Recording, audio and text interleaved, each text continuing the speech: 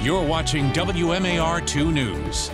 I'm Kelly Swoope with your WMAR 2 News update. You could possibly help police solve a year old murder case, and you could get up to $42,000 as a reward. Trevor White was killed in June last year, shot outside of his home in Northeast Baltimore.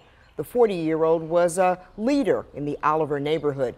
He also owned several Baltimore businesses and was a co owner of a local bar and grill, a soul food restaurant in the Lindley. Call Metro Crime Stoppers if you know anything about White's murder. There are a lot of activities happening in Baltimore this weekend, but the rain has forced one popular event to move to the fall. The Maryland Zoo is postponing its Wine in the Wilderness event that was scheduled for Saturday. The event lets you sample wines in the zoo's old growth forest while visiting with species like bobcats. You now have to wait until September 30th. The zoo says it will contact all ticket holders.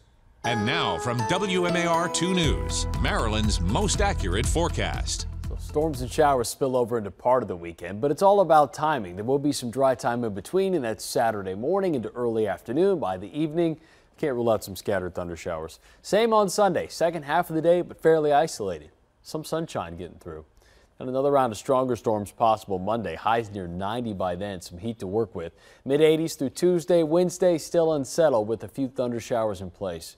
Some light at the end of the tunnel. Break from the rain Thursday, Friday. Partly cloudy to mainly sunny skies.